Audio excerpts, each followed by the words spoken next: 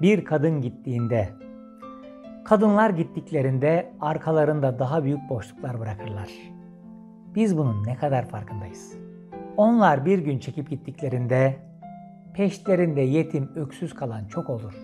Mutfaktaki dolap, perdeler, kavanozun içindeki eski düğmeler, özenle saklanmış küçülmüş giysiler, dolap dibindeki kurdeleler, sabah karanlığında mutfaktan gelen tıkırtılar susar.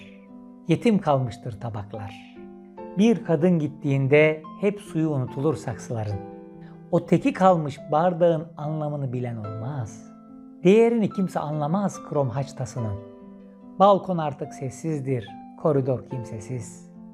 Bir kadın gittiğinde ne çok kişi gider aslında.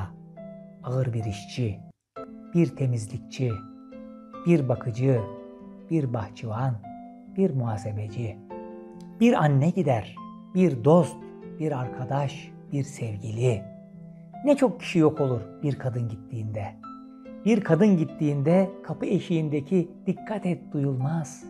Annesi gitmiştir geç kalmanın. Balkon artık sessizdir, koridor kimsesiz. Bir kadın gittiğinde ne çok kişi gider aslında. Ağır bir işçi, bir temizlikçi, bir bakıcı, bir bahçıvan, bir muhasebeci. Bir anne gider, bir dost, bir arkadaş, bir sevgili. Bekir Coşkun'un harika bir yazısı bu. Çok hoşuma gittiği için sizlerle paylaşmak istedim. Kadın şiirdir şairi belli olmayan. Kadın çiçektir koklamaya bile kıyılamayan. Kadın meltemdir ılık ılık eser.